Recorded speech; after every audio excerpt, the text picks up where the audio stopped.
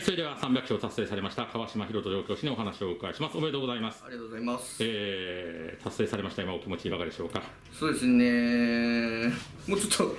すっと勝てるかなと思ってたんですけど、ちょっと時間かかっちゃいましたね。えー、まあ300勝ご自身にとっては道のりはどうでしょう？長かった感じですかね？それとも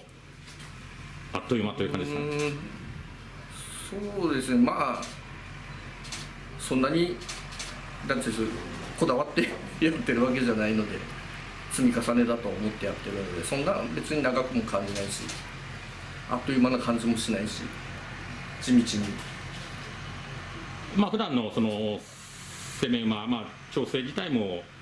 まあ、その馬に合った当然やり方なんでしょうけれども、はい特に気にしてこういうところを気にしてやってるということはありますかね？うーんと、まあ、とりあえず開催期間中が短いので、なるべく馬の調子を落とさないように、こうずっと同じ調子がキープできるような調教をしていきたい、いってるような、いってるって感じですね。まあ、その積み重ねが300勝そうですねということですね。はいえーまあ、通過点だとは思いますけれども、はい今後の抱負に、えーもありましたら、えー最後にメッセージも含めてお願いしたいと思います。そうですね、まあ、とりあえず300は勝ったんですけど、まだこの先もどんどん勝っていきたいと思いますんで、応援よろしくお願いします。はい、えー川島博人調教師でした。おめでとうございました。ありがとうございました。